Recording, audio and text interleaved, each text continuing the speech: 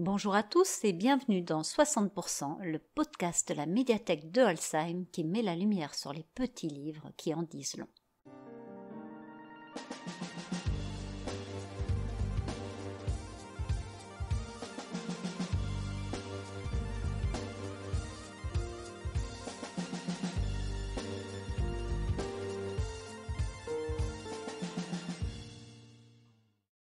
Aujourd'hui, on prend 60 secondes de votre temps pour vous présenter Ce que j'appelle oubli de Laurent Mauvigné.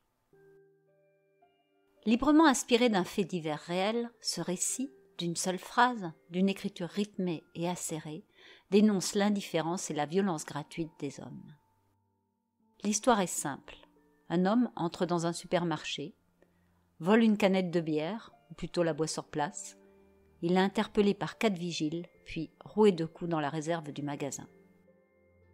Le narrateur s'adresse aux frères de la victime, décrit le contexte, retrace impressions et sentiments, réflexions qui défilent dans la tête de l'homme.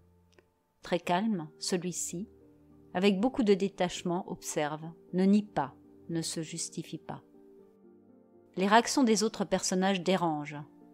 Surprenantes sont celles des femmes des vigiles. Et puis, comment annoncer une mort aussi absurde aux parents du jeune homme? Un style prenant, percutant. Très vite, nous prenons la place de la victime.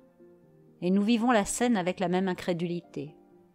Tout cela est tellement banal, lamentable. Mais il y a mort d'homme, tout de même. Le texte de Laurent Mauvigné essaie de redonner vie à cet homme, mort pour si peu. Une piètre consolation pour ce frère qui avait l'air très proche mais une prise de conscience de la fragilité de la vie et de l'absurdité des hommes. Merci beaucoup d'avoir écouté ce sixième épisode de 60%.